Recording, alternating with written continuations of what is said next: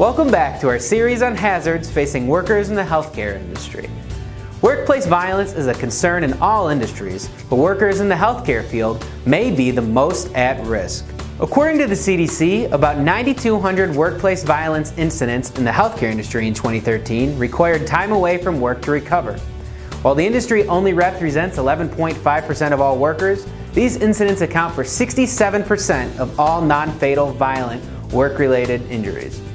What's more, many cases of workplace violence in this field go unreported.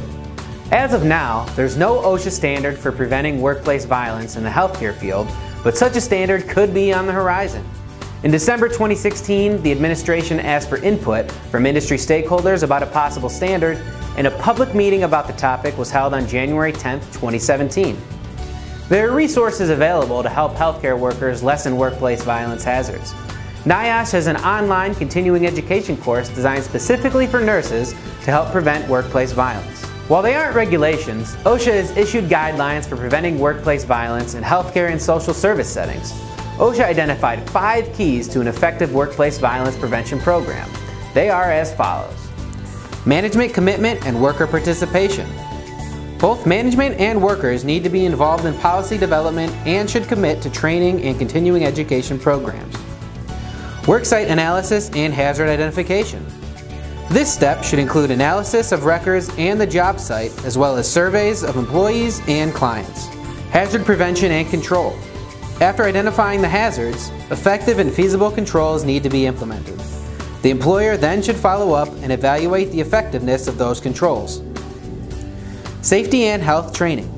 A safety policy is only as good as the training employees receive. Workers, supervisors, managers, and security personnel all need training that is tailored to their specific roles.